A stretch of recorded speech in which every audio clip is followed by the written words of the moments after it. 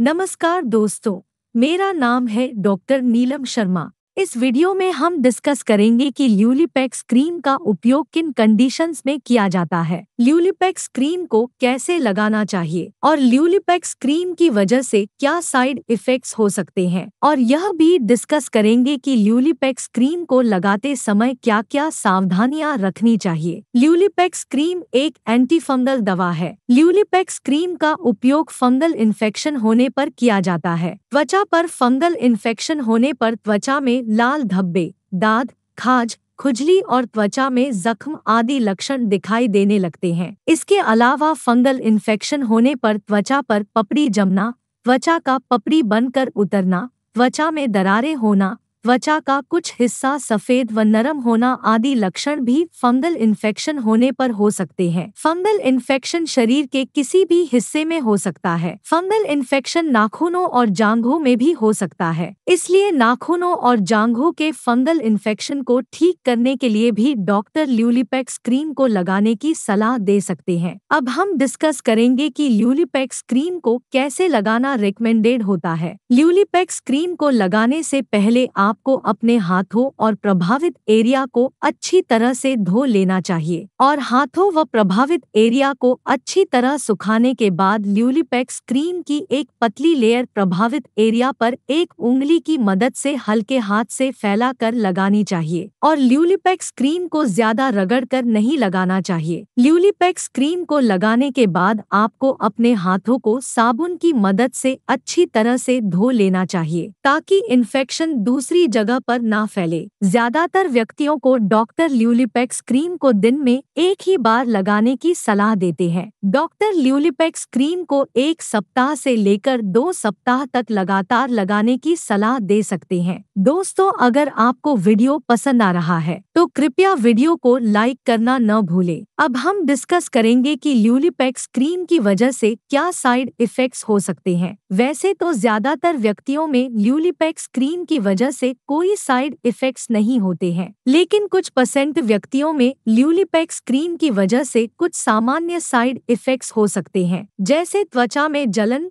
त्वचा में खुजली, त्वचा में रेडनेस त्वचा में सूजन और त्वचा की एक पतली लेयर पपड़ी बनकर उतर सकती है। अगर आपको ल्यूलिपेक्स क्रीम को लगाने के बाद त्वचा में बहुत तेज खुजली, जलन, त्वचा पर सूजन, त्वचा पर रेडनेस त्वचा पर रैशेस या त्वचा पर छाले होना और त्वचा पर सुई चुभने जैसी संवेदना ज़्यादा होती है, या ऐसा कोई लक्षण लगातार बना रहता है तो ये लक्षण ल्यूलिपेक्स क्रीम की वजह से एलर्जी होने पर भी हो सकते हैं। यदि आपको ल्यूलिपेक्स क्रीम को लगाने के बाद ऐसा कोई लक्षण लगातार बना रहता है तो आपको तुरंत ही डॉक्टर से परामर्श लेना चाहिए। अब हम डिस्कस करेंगे कि ल्यूलिपेक्स क्रीम को लगाते समय क्या क्या सावधानियाँ रखनी चाहिए। फंगल इन्फेक्शन एक व्यक्ति से दूसरे व्यक्ति को फैल सकता है। इसलिए जब तक फंगल इन्फेक्शन अच्छी तरह से ठीक न हो जाए, तब तक संक्रमित व्यक्ति के कपड़ों और शारीरिक संपर्क में आने से बचना चाहिए। ल्यूलिपेक्स क्रीम को आँख,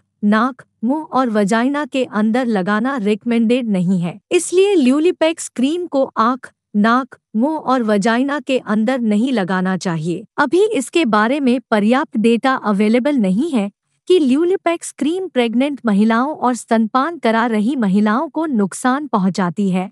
या नहीं। इसलिए ज़्यादातर डॉक्टर प्रेग्नेंट महिलाओं और स्तनपान करा रही महिलाओं को ल्यूलिपेक्स क्रीम को न लगाने की ही सलाह देते हैं। लेकिन ज़्यादा ज़रूरत पड़ने पर डॉक्टर प्रेग्नेंट महिलाओं और स्तनपान करा रही महिलाओं को ल्यूलिपेक्स क्रीम को लगाने की सलाह दे सकते हैं। वीडियो को देखने के लिए आपका धन्यवाद। अगर आपको वीडियो पसंद आया तो प्लीज़ वीडियो को लाइक कर देना। चैनल को सब्सक्राइब कर लेना। और अगर आपका ल्यूलिपेक्स क्रीम से संबंध संबंधित कोई प्रश्न है तो आप कमेंट करके पूछ सकते हैं।